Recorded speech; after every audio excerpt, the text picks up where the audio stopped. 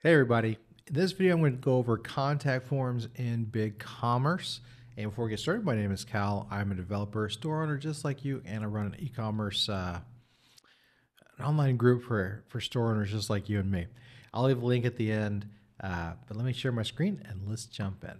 Okay, so we're trying to we're trying to set up a contact form on our BigCommerce store.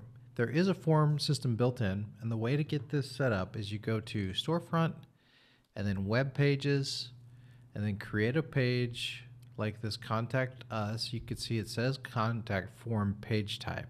I'm just going to create a new one though, just so you guys can see. New form, not from, form. Spelling's hard. Okay, this page will, and by default it says contain content created using the WYSIWYG editor below. And what we're going to do is we're going to change this to allow people to send questions slash comments via a contact form. Now, when you do this, you still have full use of the WYSIWYG, right?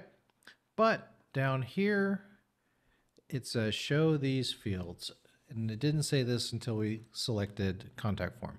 Now, once it says show these fields, you can tick on the form fields that you want to show. Now, everyone's next question is invariably, I don't want to show RMA number. I want to show this other question. Okay. Well, BigCommerce limits you to these technically, I think eight fields because I think that there's a field that's not got a name. I think it's, uh, hmm, I could be wrong. Seven or eight fields, let's say. Let's go with that, right?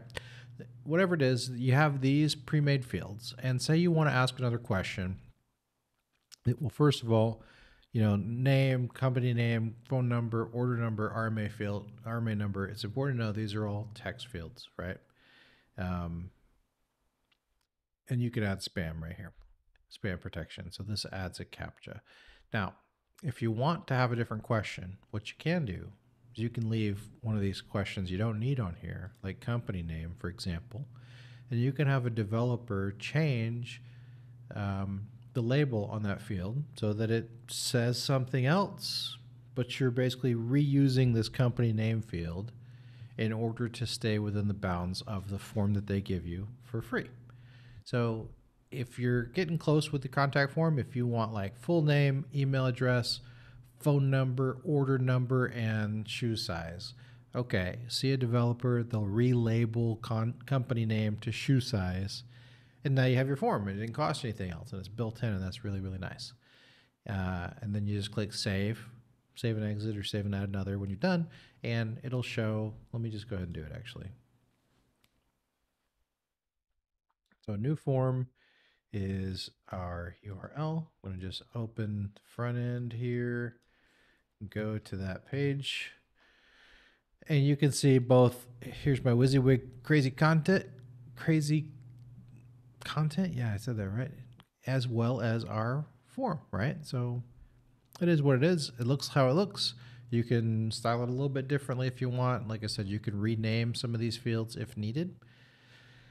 But there's limitations, right? You only have a certain number of fields, uh, and that's it. If you need something beyond this, if relabeling uh, the RMA field, for example, and the company field doesn't get you to where you need to be, you can still have a form. You just need to use an external form system.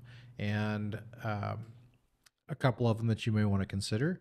Power Forms has an app that connects in BigCommerce. Their form system is reasonably nice. Jot Forms uh, is very flexible. It is an external system, so you'd need a developer to embed it in a page for you, but you can do all kinds of things. And Jot Forms will connect to Zapier, which is really nice if you need to power some automations. I really like a uh, system called FormSpree that's really, really open as to what you can do with it. And uh, let's see, Power, FormSpree. Oh, and uh, Typeform is another one that people like quite a bit. So between those four, those should give you plenty to, to kind of look through and see what's right for you if you need something beyond what BigCommerce's native form can do.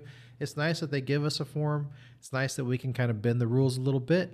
But uh, if you need to go, you know, way farther, one of those four companies is probably a, a good bet for you. All right, I hope that helps. Leave me a comment. Let me know what you guys are struggling with or if this did help you. I really appreciate you guys being here. If you're interested in our community, check out e-commerce amplifiers. And if you need a dev, hit me up at epicdesignlabs.com. See you on the next one.